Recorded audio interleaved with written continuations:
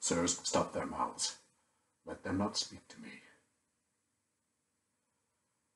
But let them hear what fearful words I utter.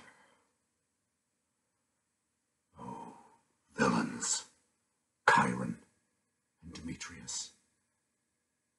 Here stands the spring whom you have stained with mud. This goodly summer with your winter mixed. You killed her husband, and for that final fault, two of her brothers were condemned to death. My hand cut off and made a merry jest. Both her sweet hands, her tongue, and that more dear than hands or tongue, her spotless chastity, inhuman traitors, you constrained and forced.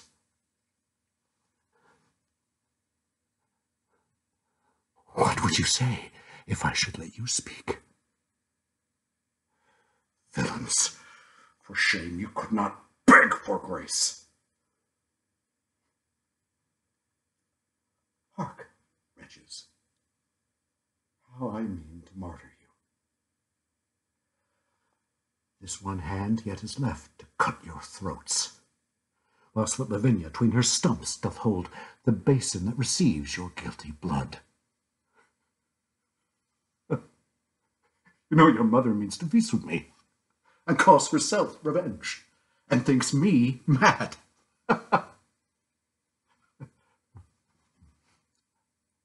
Hark, villains.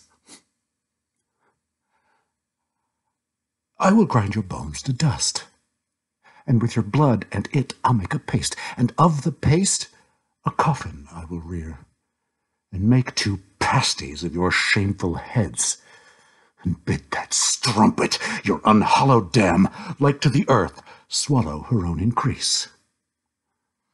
This is the feast that I have bid her to, and this the banquet she shall serve it on. Worse than Philomel you use my daughter, worse than Procne will I be revenged.